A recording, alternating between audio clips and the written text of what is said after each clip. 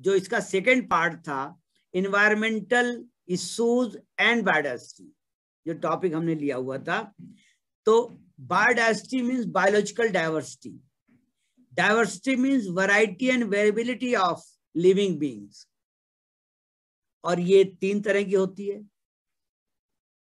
एक होती है genetic biodiversity diversity within a species species diversity diversity in between species और थर्ड होती है इकोसिस्टम और ecological diversity diversity of different ecosystems diversity is important because this is for our survival. It gives us ethical, social, and economical values. It provides different types of produce like agricultural produce, forest produce, medicinal produce. It gives us direct and indirect benefits. So this is important for us. So we have to conserve it. We have two methods of conserving biodiversity. Biodiversity हमारे लिए important है। Biodiversity तीन तरह की होती है। Biodiversity किसी भी जीव जीव में उस कितनी तरह की भिन्नता और विभिन्नता को कहते हैं। ये तीन तरह की होती है। Genetic diversity species diversity ecological diversity और हमने कहा कि ह्यूमन पॉपुलेशन जो है, उसके सर्वाइवल के लिए बायोलॉजिकल डाइवर्सिटी इंपॉर्टेंट है। इकोसिस्टम जितना डाइवर्स होगा, उसकी सस्टेनेबिलिटी उतनी ज़्यादा होगी। और हमने डिस्कस किया कि बहुत सी चीज़ें इससे हमको मिलती हैं। ये बहुत इंपॉर्टेंट है हमारे लिए। This is important for us इसका मतलब है कि हमको इसको कंजर्व करना चाहिए, इसको संरक्षित करना चाहिए, इसको बचाना चाहिए। तो conservation of biodiversity is by two two methods one is known as in situ conservation in situ conservation means conservation of biodiversity in its natural habitat वो पौधा, वो एनिमल जहाँ कहीं भी मिलता है, हमको उसको वहीं पर कंजर्व करना है, वहीं पर उसको मल्टीप्लाई करना है। इसको हम बोलते हैं इन सीटू कंजर्वेशन दूसरा मेथड है ex situ conservation sorry examples situ conservation के एग्ज़ाम्पल है नेशनल पार्क राष्ट्रीय उद्यान सेंचुरीज बायोस्फीयर रिजर्व्स हम यहाँ पर फ्लोरा और फना को कंजर्व करके वहीं उसको मल्टीप्लाई कर रहे दूसरा मेथड है ex situ conservation conservation outside its natural habitat वो जहाँ पर पाया जाता है वहाँ पर कंजर्व हम नहीं कर पा रहे हैं। क्यों नहीं कर पा रहे हैं? Due to causal factors are still active which are reducing its population its number जो कॉजल फैक्टर हैं, जो कारक हैं, वहाँ पर उसको कंजर्व नहीं कर पा रहे हैं, उसको नहीं रोक पा रहे हैं। इसलिए क्या कर रहे हैं कि हमको वहाँ से उसको हटा करके, उसको उसके प्राकृतिक आवास नेचुरल हैबिटेट से हटा करके कहीं पर उसको मल्टीप्लाई किया जा रहा है। जैसे जूस है, आर्बोरेटा है, एक्वेरियम है, सीड बैंक है, जीन बैंक है, ठीक है, आर्बोरेटा है, वहाँ पर हम उसको रख करके वहाँ पर उसको मल्टीप्लाई कर रहे हैं और उसके बाद उसको हम नेचर के अंदर डाल दे रहे हैं। तो हमारे पास दो मेथड्स हैं इस बायोडाइवर्सिटी को बचाने के लिए। एक्सिटू और इंसिटू कंजर्वेशन कुछ फैक्ट्स को हम डिस्कस कर सक, करना चाह रहे हैं कि टोटल लैंड एरिया जिसको हमने अभी कुछ देर पहले भी कहा था कि टोटल लैंड एरिया है, जो है, वो 51 करोड़ स्क्वायर किलोमीटर है। और इसका 26 परसेंट एरिया आज के टाइम में फॉरेस्ट एरिया है। That is 38.7 million square kilometre और सबसे इंटरेस्टिंग है कि 40 percent of global forest land is in South America Africa and South Asia जो साउथ अफ्रीका है साउथ अमेरिका है और साउथ एशिया है। ये जो पॉइंट है, ये जो कंट्रीज़ हैं, ये जो प्लेस है, ये Tropic of Cancer to Tropic of Capricorn के बीच में मिलते हैं। ये ट्रॉपिकल एरिया है जहाँ पर हाई रेनफॉल और हाई टेम्परेचर होता है। तो out of this total forest area total forest area का फोर्टी परसेंट फॉरेस्ट एरिया यहाँ पर मिलता है, जो कि जोन है Tropic of Cancer Tropic of Cancer to Tropic of Capricorn के अक्षांश और सॉरी ट्रॉपिक ऑफ़ कैंसर और ट्रॉपिक ऑफ़ कैप्रिकॉन के बीच में पाया जाता है। क्यों? क्योंकि यहाँ पर रेनफॉल ज़्यादा है, यहाँ पर टेम्परेचर ज़्यादा है, इसलिए यहाँ पर डायवर्सिटी भी सबसे ज़्यादा होती है। सबसे ज़्यादा डायवर्सिटी चाहे वो प्लांट हो, चाहे वो एनिमल हो, वो Tropic of Cancer to Tropic of Capricorn के बीच में ही मिलता है। Because this is the ideal situation for these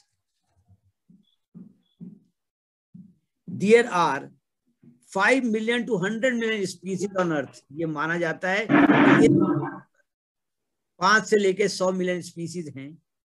और आज की डेट तक we have catalogued only 1.9 million species in global level there are 35 36 hot spots it covers 35.3% of vertebrate species, 44.4% of global plant species in these hotspots.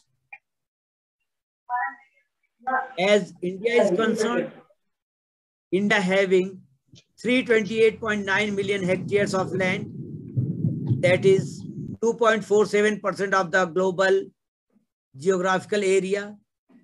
India having 1% of forest area but India having more than 35% of the cattle and human population at present, the forest cover of India is 24.56%. This is FSI report 2021. 2021 के forest survey of India की report के हिसाब से आज की date में भारत के total geographical area का 24.56 परसेंट एरिया अंडर फॉरेस्ट है, जबकि फॉरेस्ट पॉलिसी 1952 के हिसाब से 33 percent of the total geographical area should be under forest Bharat के टोटल भूभाग का तैतीस परसेंट एक तिहाई भाग जंगल में होना चाहिए, जबकि आज के डेट में भी हमारे पास केवल 24.56 परसेंट है। उसमें एक बार और थी, in hills, this is 60 percent. पहाड़ी क्षेत्र का 60 परसेंट, प्लेन्स का 20 परसेंट, ओवरऑल भारत के टोटल जियोग्राफिकल एरिया का एक तिहाई, mean 33 percent area should be under forest होना चाहिए था। भारत के अंदर एक one lakh thirty nine thousand species of plants animals and microbes are recorded more than four lakh species are yet to be identified Bharat के अंदर एक लाख उनतालीस हज़ार प्लांट एनिमल और माइक्रो स्पीसीज को कैटलॉग किया जा चुका है। और आज के डेट में भी चार लाख स्पीसीज ऐसी है जिसको आइडेंटिफाई नहीं किया गया। कैटलॉगिंग नहीं की जा सकी है। In India there are three mega centres of endemism endemism means actual living condition actual point of sorry actual point of origin of that species endemic endemic means actual point of origin of that species किसी plant किसी animal की उत्पत्ति का जो स्थान होता है उसको बोलते हैं endemism. In India there are twenty six micro centres of endemism and in India there are four hot spots in India there are 40,000 plus species of wild plants, 89,000 species of wild animals, at least 320 species of wild relatives of crop have been originated here. Means they are endemic to India. Threat to biodiversity. What are, what is, what are the threats to our biodiversity is, in short, I will discuss you one by one. Deforestation and overgrazing. Deforestation and overgrazing is the biggest threat to our biodiversity. I have already told you overgrazing means grazing of animals more than the carrying capacity. Carrying capacity means a land successfully withstand a number of animals in a particular land area. एक ज़मीन एक grass land जिसके अंदर एक land की productivity land की क्षमता के बेसिस पे वो कितने एनिमल को सफलता पूर्वक अपने ऊपर ग्रेज कर सकती है? अगर उतने नंबर ऑफ़ एनिमल्स को ही हम उसमें परमिट करें टू ग्रेज तो हेल्दी ग्रासलैंड मेंटेन हो जाएगा। या हम रोटेशनल ग्रेजिंग करें, या हम प्रियोडिक ग्रेजिंग करें तो हम बायोडायवर्सिटी को मेंटेन कर सकते हैं कंजर्व कर सकते हैं। If overgrazing is there if animal permitted is more than carrying capacity this is dangerous to desired palatable grass and invasion of और coming up of undesired grasses and ultimately it reduces the biodiversity of grassland. So the first threat is deforestation and overgrazing. Another threat is habitat destruction and fragmentation of area. Habitat means actual living condition for a particular plant or a particular animal. If we destruct their habitat, it means we are creating unfavorable condition for that plant or that animal. And if we fragmentate this area, we we uh, we partition this area it would also affect the biodiversity another threat is poaching and hunting of animals for flesh for fur for skin for horn for other purposes if we are killing the animals we are affecting or we are reducing the biodiversity. Forest fire is another cause of threat to biodiversity of grasses, of shrubs, of microorganisms or micro micro ecosystem of that area. Over exploitation of the resources is also a big threat of biodiversity.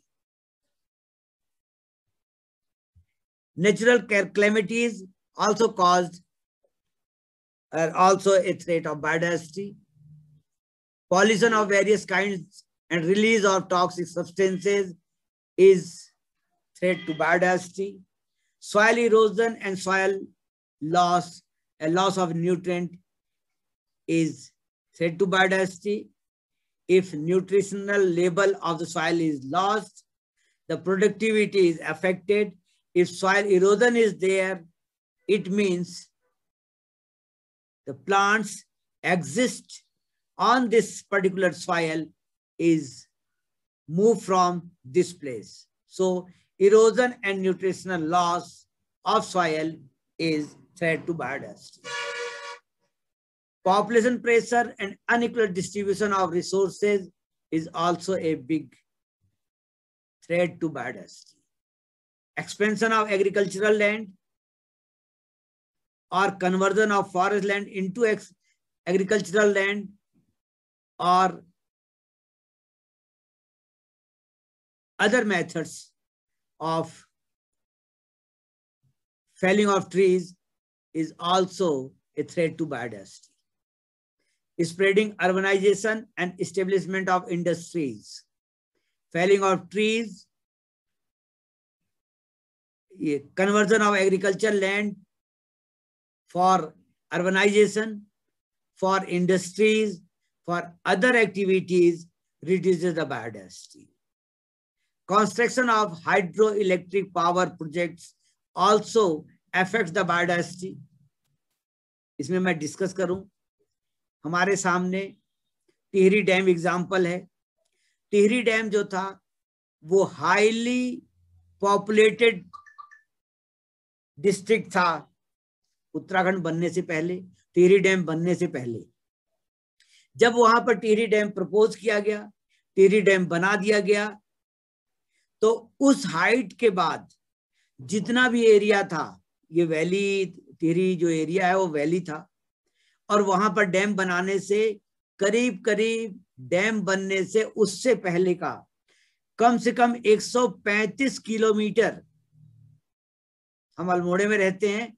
अल्मोड़े से रुद्रपुर की जो distance है, वैसे ही Tehri dam बनने से उसके पीछे की उतना डिस्टेंस 135 किलोमीटर का जो एरिया था, उस कंटूर लाइन के ऊपर, वो सब समर्ज हो गया। उसमें बहुत सा एरिया एग्रीकल्चर एरिया था, बहुत सा एरिया मेडिसिन प्लांट्स का एरिया था, बहुत सा एरिया फॉरेस्ट एरिया था, बहुत सा एरिया पॉपुलेशन था। सब की सब खत्म कर दिया। और वहाँ पर जो पॉपुलेशन थी, उस पॉपुलेशन को रिहेबिलिटेट किया गया। कहा किया गया? ऋषिकेश हरिद्वार रोड पर, वहाँ पर फॉरेस्ट को फेल किया गया। यहाँ भी बायोडाइवर्सिटी लॉस की गई। उन लोगों को यहाँ बसाया गया। उनको एम्प्लॉयमेंट दिया गया। तो हमने वहाँ पर बायोडाइवर्सिटी लॉस की और हमने यहाँ पर बायोडाइवर्सिटी लॉस की। अगर हम इसको एसेस करें तो हमने बहुत बड़े अमाउंट में प्लांट एनिमल ह्यूमन पॉपुलेशन का डिस्प्लेसमेंट हो गया, पर बहुत से प्लांट और एनिमल को हमने वहाँ से डिस्प्लेस किया या बायोडाइवर्सिटी तो construction of big dam is also threat to biodiversity अगर बायोडाइवर्सिटी लॉस हो जाती है तो क्या इफ़ेक्ट पड़ेगा?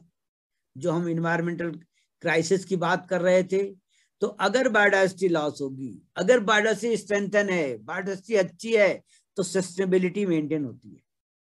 अगर बायोडाइवर्सिटी लॉस होगी तो global warming and climate change, जिसको हमने डिस्कस किया, ये प्रॉब्लम हमको फेस करनी पड़ेगी। फिर एग्जांपल देता हूँ कि अगर हमने एक लीफ भी फेल किया, इसका मतलब कि हमने फोटोसिंथेटिक प्रोसेस को चेक कर दिया। फोटोसिंथेटिक प्रोसेस चेक करने का मतलब है कि हमने कार्बन कि कंसंट्रेशन को इन्वायरमेंट में बढ़ा दिया और उसके इंपैक्ट आपको पता ही है। Due to change in decomposition rate by microbes अगर बायोडाइवर्सिटी लॉस होगी तो माइक्रोबियल एक्टिविटीज़ कम हो जाएँगी। सॉइल इरोजन और loss in fertility soil erosion होगा और सॉइल फर्टिलिटी लॉस होगा। पॉल्यूशन इंक्रीज हो जाएगा। जो न्यूट्रन साइकिलिंग है हाइड्रोलॉजिकल साइकिल है, वो आल्टर हो जाएगी। वो मॉडिफाई हो जाएगी, जिसका निगेटिव इफ़ेक्ट पड़ेगा। Reduce gene pool food chain alter हो जाएगी हाइड्रोलॉजिकल साइकिल इफ़ेक्ट होगी। और अब हम इसके लास्ट सेशन पे आते हैं कि अगर बायोडाइवर्सिटी इतनी इंपॉर्टेंट है बायोडाइवर्सिटी कंजर्व करने की ये मेथड्स हैं, और बायोडाइवर्सिटी को थ्रेट कौन सी है? और बायोडाइवर्सिटी लॉस का इंपैक्ट क्या होगा? ये हमने डिस्कस कर लिया। अब हम यहाँ पर डिस्कस करते हैं कि how to conserve this biodiversity is maintenance of the integrity of the habitat हमको हैबिटेट को मेंटेन करना पड़ेगा। Habitat means actual living condition for plant and animal जहाँ पर प्लांट और एनिमल रहते हैं उसके हैबिटेट को इंटीग्रेट करना पड़ेगा, उसके हैबिटेट को मेंटेन करना पड़ेगा, जिससे कि उनकी प्रोडक्टिविटी बढ़े और quality of the desired produce to grow and reproduce well जिससे कि वो मल्टीप्लाई हो सके, चाहे वो फ्लोरा हो, चाहे वो फना हो। तो first conservation measure is maintenance of the integrity of the habitat. हमको हैबिटेट को मेंटेन करना है। Prevention and control of forest fire.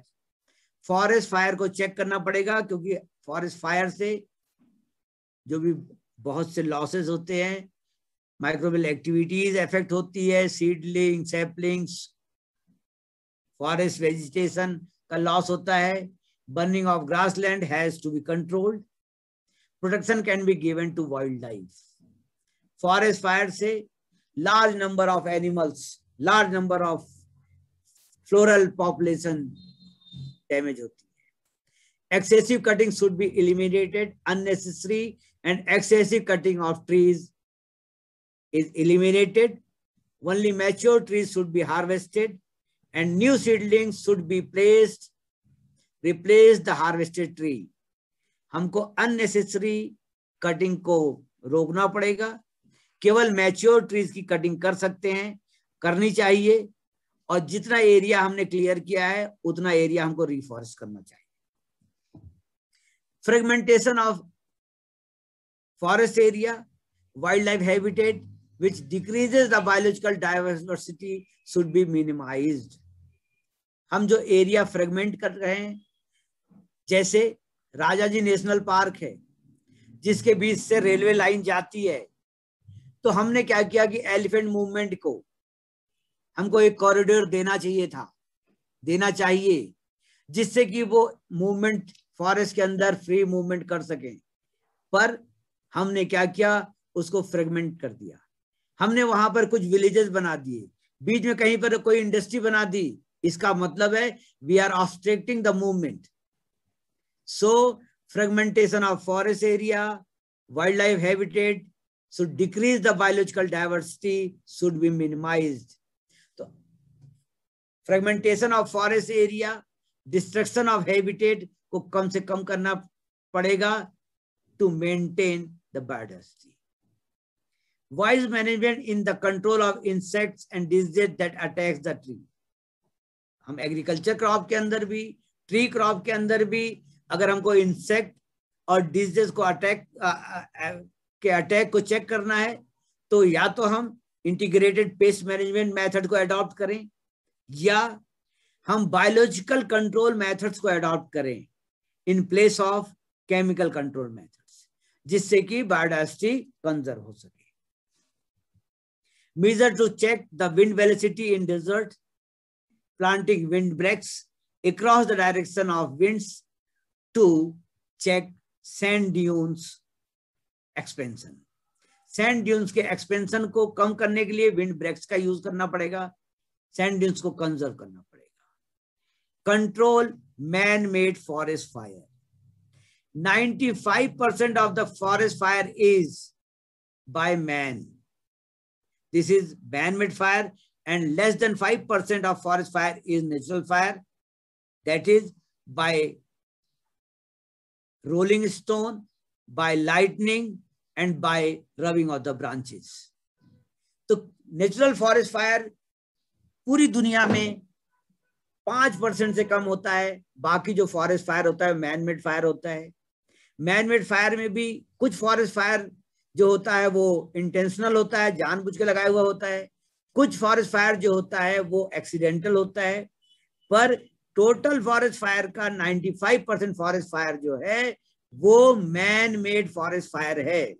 इसको कंट्रोल करना पड़ेगा to conserve our biodiversity planting grass species for soil conservation and improvement of soil fertility हमको pasture land में grass species को बोना पड़ेगा, लगाना पड़ेगा पेलेटेबल ग्रासेस को to improve soil fertility and conservation of soil reforestation in degraded forests and agriculture wastelands with suitable tree species which are viable genetically superior and disease resistant हमको reforest करना पड़ेगा।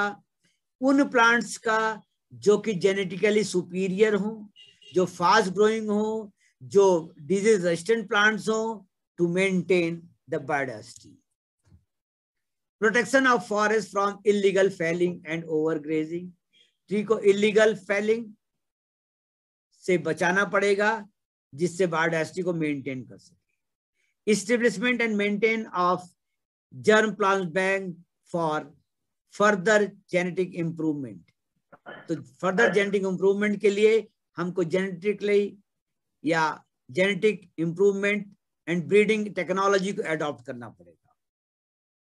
The maintenance and preservation of germ plant of vegetative propagated species वो species वो plants जो vegetative mean से propagate होते हैं, उनके जर्म प्लांट बैंक को भी प्रिजर्व करना पड़ेगा।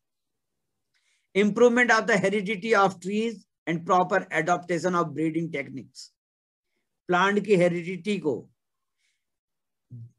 मेंटेन करना पड़ेगा, जिससे कि हम इसको फर्दर मल्टीप्लाई कर सकें और प्योरिटी को मेंटेन कर सकें।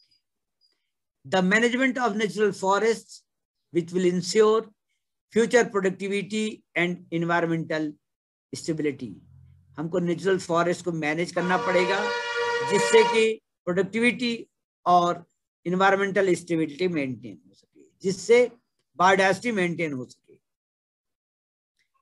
Follow principles and procedures of social forestry to minimise the stress on the exploitation of renewable forest resources social forestry is practice of forestry outside the conventional forest area.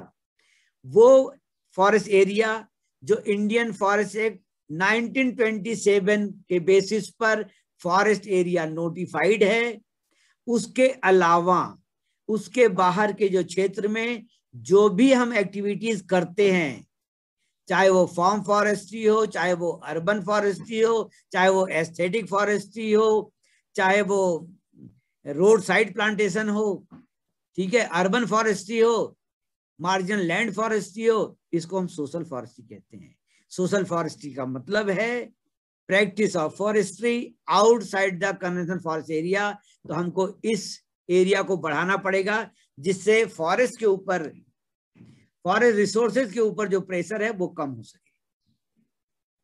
Conservation of endangered and endemic species in natural forest. Natural forest में जो endangered species हैं, जो endemic species हैं, उनको conserve करना पड़ेगा।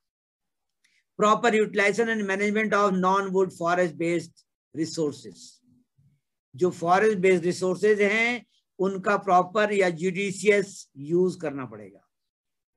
Implementation of effective and scientific methods of water soil and air pollution control to ensure high productivity of the biomass biomass productivity को बढ़ाने के लिए सॉयल वाटर एयर पॉल्यूशन को चेक करना पड़ेगा। Improper mining activity should be stop to check land degradation if required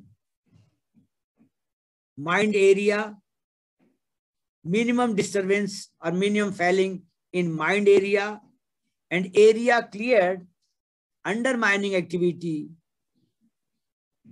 area equal to that area should be afforested.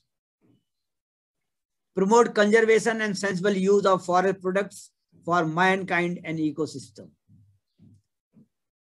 जो भी forest produce है उसका सेंसिबल यूज़ करके इकोसिस्टम को मेंटेन करने पे ही बायोडाइवर्सिटी मेंटेन होगी control of soil erosion and establishment of vegetative cover हमको अधिक से अधिक वेजिटेटिव कवर को मेंटेन करना पड़ेगा और सॉइल इरोजन को कंट्रोल करना पड़ेगा।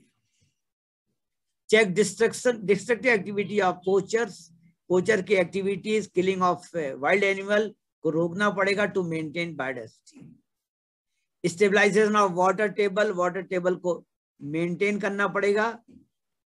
Development of renewable resources resources renewable resources को मेंटेन करना पड़ेगा। Promoting the habitat improvement conservation and restoration of species, establishment of national parks, wildlife sanctuaries for the preservation of natural biotic communities.